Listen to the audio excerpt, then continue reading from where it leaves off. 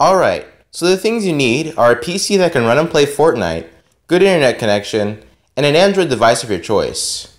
Okay, so first, download the PC Remote app on your phone and PC.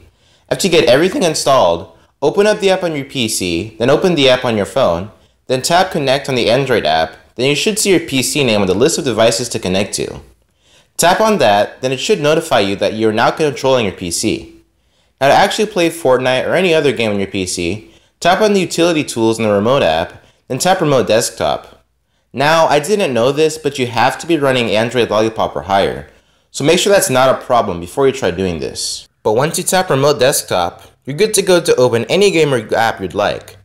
This is being done over Wi-Fi, so I don't know how to perform this setup without being over the same connection. But I thought I'd show this anyway, because this is as close as it's going to get. I did get a match of Fortnite running, but every now and then it would start to lag worse than it already was. I can play, but with a competitive game like this, it really does affect the experience, with short delays. Think of it as cloud gaming for your Android. You connect to a powerful PC, then you connect to the internet, then you play 60 FPS games on your phone while the PC is doing all the hard work. If I tried a different app or had faster internet, then this setup would have worked a little bit better. But if you have any suggestions, please let me know.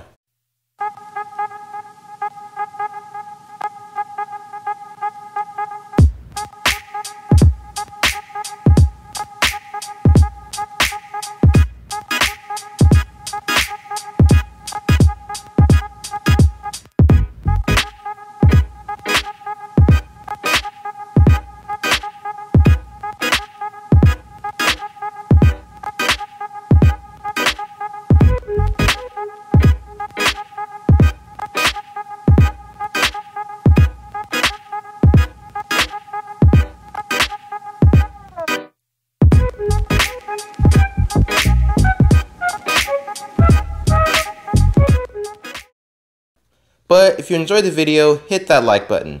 If you didn't, you know where to go. While you're there, consider subscribing to the channel. Anyways, thanks for watching, I'll see you later.